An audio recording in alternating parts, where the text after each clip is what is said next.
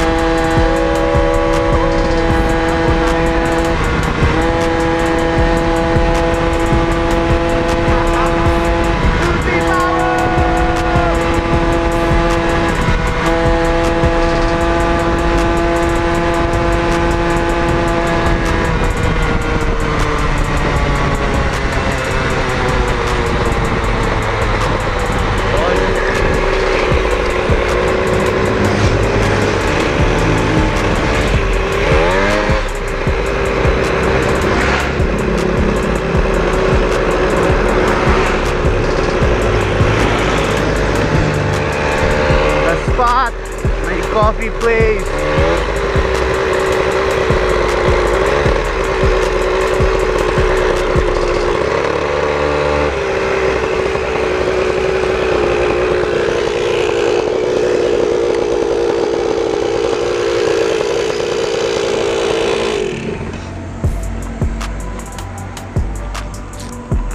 Right.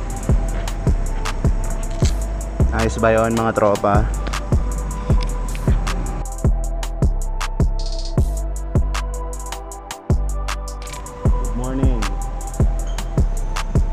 Kumusta mga ka-lockdown? Dito tayo sa Dunkin Donuts. Nga pala yung channel ko is all about riding motorcycles. Walang katuturan actually. So, kung wala lang kayong ginagawa, trip yung manood ng motor-motor, walang impormasyong matino dito, right?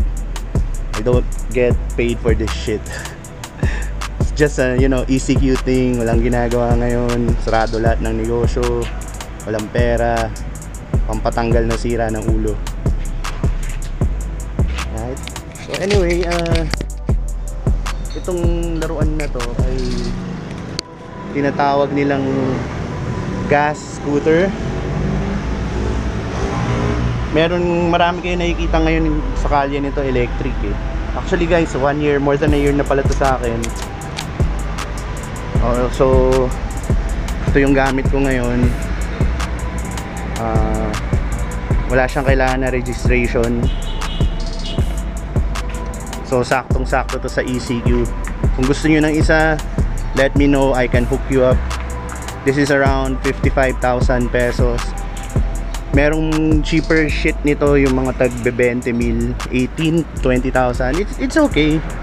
May ganun ako una eh. Pero parts wise, durability wise, ang ina.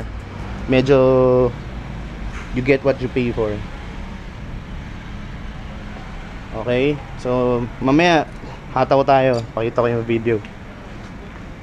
So, ano, uh, kumusta kayo dyan mga ka-lockdown? Uh, okay yung kalye ngayon eh, maluwag. Hataw, hataw, hataw ako ng konti.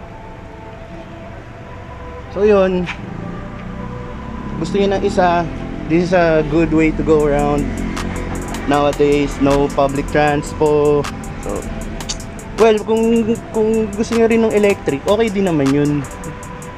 May mga tropa akong gano'n eh, yung tinatambayan namin sa ano, sa coffee roti, mga nakaganon eh. Pero, putang ina, mas mani- maniwala kayo. Mahal kasi yung presyo ng NMAX, 120k, 140k. Fuck, diba? This is the shit. 55k parts, solid, makina ng grass cutter, mapasabog mo yan. Tangina, wala pa 10,000 yung makina eh. Ay, yan, yung engine. So, lobat, walang lobat issue. Gusto mo ng gas. This is 2T powered. Full start. May susian.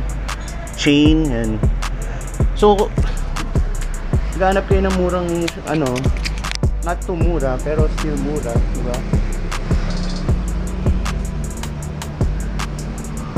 Anyway, kahapon yung ako ng HPG. So ito muna yung ginamit ko. So tayo ito na nga muna gagamitin ko. So alright. Peace out, yo.